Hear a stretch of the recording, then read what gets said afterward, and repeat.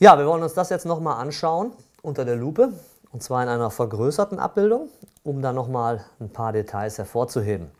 Man sieht es hier im ersten Ansatz, dass die beiden Spitzen fast auf Höhe der Innenverteidiger stehen, aber auch gut weit weg, dass der Torwart also durchaus auch noch anspielen kann. Dadurch, dass die Spitzen sehr breit stehen, ist natürlich auch beim langen Ball ein rein theoretisches Anlaufen auf den Außenverteidiger auch hier mal möglich. Also das muss man natürlich auch mit dem Kopf haben, dass man dann da versucht, den Außenverteidiger vielleicht sogar dann wieder bewusst nach innen zu steuern. Da gibt es also auch zig Varianten, aber von der Ausgangsposition her ist das okay. Und wenn man jetzt mal weiter sieht, das Anlaufen ist natürlich hier auch wichtig. Man sieht das hier. Ja, der läuft also einen kleinen Bogen, um den Außenverteidiger aus dem Spiel zu nehmen.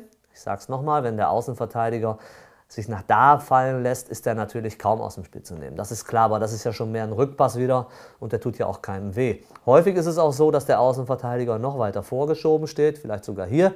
Und das ist für den äh, zentralen äh, Spieler, für die zentrale Spitze sogar noch einfacher ist, hier den Spieler aus dem Spiel zu nehmen. Es ist wichtig, dass er in der Ausgangsposition, wenn er hier steht, natürlich den Spieler sieht, dass er sich orientiert, wo ist der.